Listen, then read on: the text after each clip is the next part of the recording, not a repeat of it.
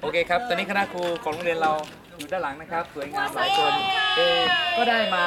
มาถึงที่วัดเจดี ทองครับ เจดีทอง ซึ่งเป็นแบบจำลองของเจดีเจดีเจดีเจดีทองที่จำลองมาจากที่จำลองมาเพราะจากว่าพิเรนจ้ะอ่าครับ เพราะฉะนั้นตอนนี้เรามา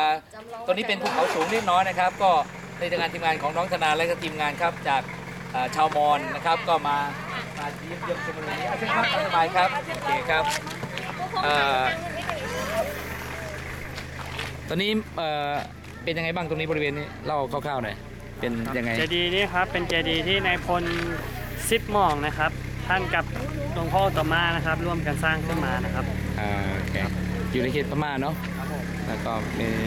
วันวันๆมีคนมาเที่ยวเยอะไหมก็เยอะพอสมควรนะครับก็ถ้าวันเสาร์อาทิตย์วันหยุดยาวอย่างเงี้ยคนจะแน่นเลยครับ อ่าอันนี้รถอันทัวนี้ ร์เราเนี่ยคณะทัวร์เรารับรถไม่พอเลยครับ อันนี้ถือว่าไม่แน่นใช่ไหมอันนี้ธรรมดาครับธรรมธรรมดาดาเสาร์อาทิตย์ธรรมดาครับอ๋อที่ธรรมดาโอเคครับครับรถที่นำเที่ยวก็จะเป็นอย่างนี้นะครับรถรถในพม่ารถในไทย เป็นรถไทยครับเข้ามาเที่ยวโอเค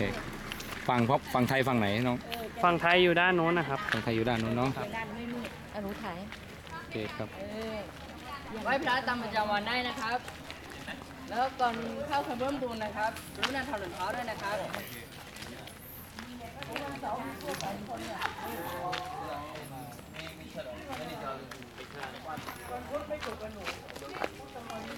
ตอนนี้เราก็ acting กันครับ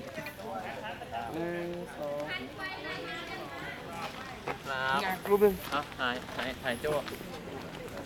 ข้างหลังเป็นภูเขาเป็นฉากถ่ายภาพสวยมากนะครับ มีทั้งภาษาไทยภาษาพม่าภาษามอนนะครับ